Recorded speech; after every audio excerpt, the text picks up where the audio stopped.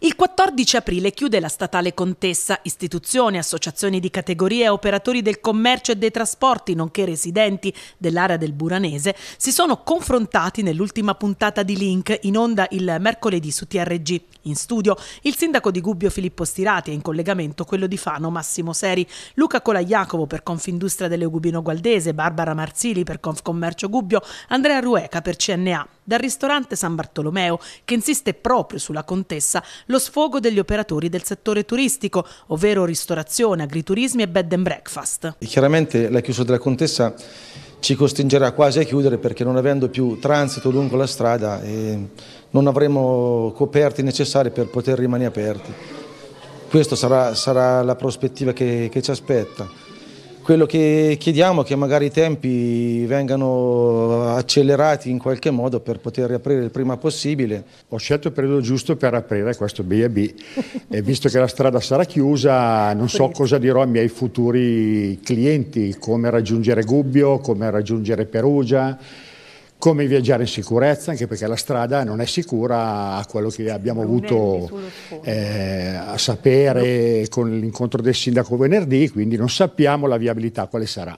Ti dicevo che non so cosa aspettarmi in quanto la ristorazione ho avuto già disdette per cresime, comunione, cerimonie varie. Per quanto riguarda l'alloggio, la vacanza estiva, i ponti vari, non so se magari chi viene da me dice vabbè devo allungarla di tot chilometri, prima però devo dargli un'alternativa valida come Maurizio, eh, l'importante è capire quello, ci sia un'alternativa valida e sicura.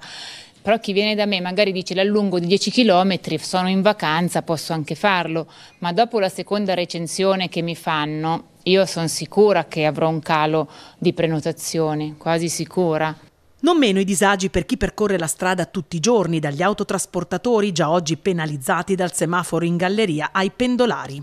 Eh sì, abbiamo difficoltà in ogni viaggio, ogni tratta perdiamo due ore sia l'andata che il ritorno, avendo la media di 10 camion al giorno che vanno su Roma, eh, quindi la difficoltà è abbastanza grande.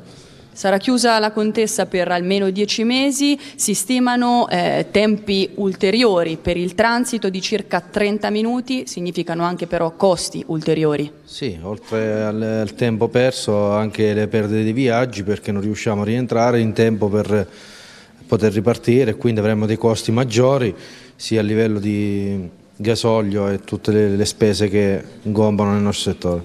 È più di 30 anni che faccio sta strada, è 30 anni che regolarmente abbiamo un semaforo o la strada ferma, quindi comincia a essere stancante.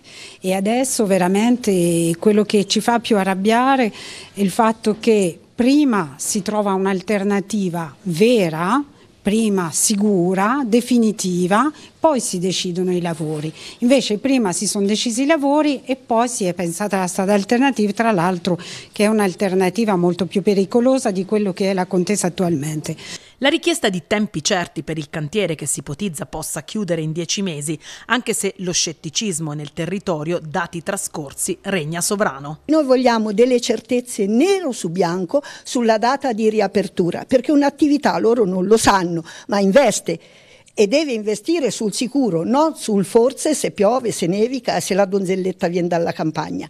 Ci vogliono certezze, nero su bianco, perché l'ultimo intervento della provincia ci promise che sarebbe stata l'ultima chiusura, visto che il ponte andava sistemato ma dal sotto, senza darci problemi. Poi abbiamo l'esempio di Cantiano, che doveva essere un lavoro di sei mesi, sono cinque anni, io non so se fanno quel ponte all'uncinetto. Tra l'altro aggiungo che la vecchia strada della Contessa negli anni 50 è stata fatta dagli abitanti del luogo, per un carro, non per un autotreno logicamente, però c'era modo di migliorarla perché è una valvola di sicurezza per la stessa contessa, come lo è quella di Montepicognola che nessuno ha valutato, al sindaco gli è stato proposto, visto che ha preso appunti, perché sono, le, strade non sono mai troppe. Che a dicembre probabilmente il panettone sulla contessa non verrà mangiato, usando questo termine calcistico perché le lungaggini che ci sono nei lavori, nelle, eh, nell'andazzo che c'è sempre avuto la contesa che son,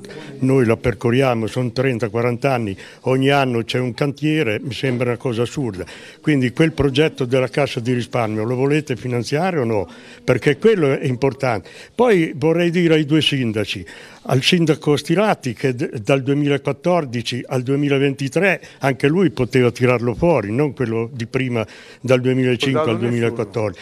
E al sindaco Seri che adesso si accorge che la contessa è strategica, quando si facevano i convegni a Cagli sulla contessa, anche qua, no?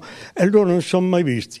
Dopo 5-6 anni che tutti da, dall'Umbria con la Perugia ancora vanno tutti a Civitanova oppure da Foligno, eccetera, allora a Marotta fanno hanno dimezzato le presenze, allora adesso la contessa è importante. Da Gubbio l'impegno del sindaco Stirati a tenere alta l'attenzione sulla contessa con un prossimo evento che si terrà in città. Da Confindustria, Confcommercio e CNA l'impegno a collaborare fattivamente.